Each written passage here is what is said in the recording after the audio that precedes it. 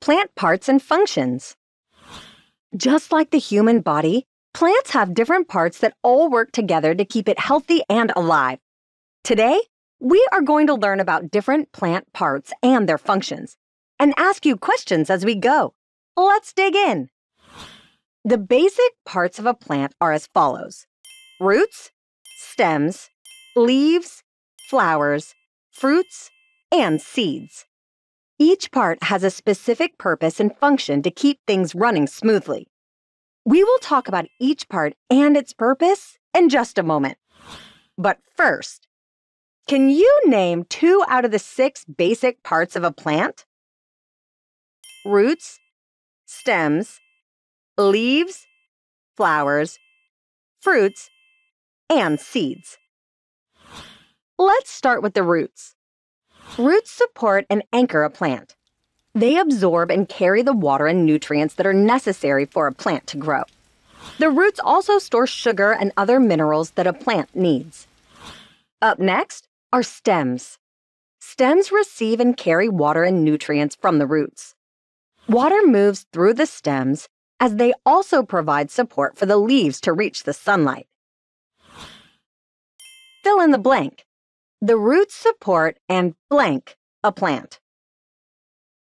Anchor. Leaves are the food making part of the plant and come in many different shapes and sizes.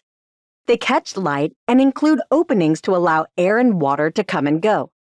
Veins carry water and nutrients throughout the leaf. Flowers are the seed making part of the plant where fertilization takes place.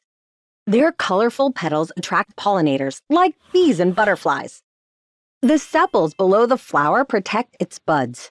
And once bloomed, the flowers may eventually turn into fruits or vegetables. In what part of a plant does fertilization take place? Flower. The ripened part of a plant that contains its seeds is called the fruit. Its outer covering protects the seeds inside. And don't let its name confuse you. Vegetables are also considered to be the fruit of the plant. Last up are the seeds. They contain all that is needed for a new plant to form. The nutrients inside the seed are used as food, and the seed itself is protected by an outer coating. Seeds can be moved from one place to another by wind, water, or animals.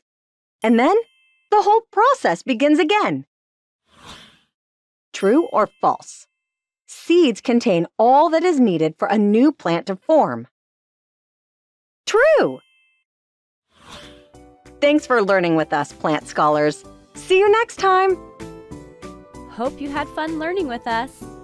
Visit us at learnbright.org for thousands of free resources and turnkey solutions for teachers and homeschoolers.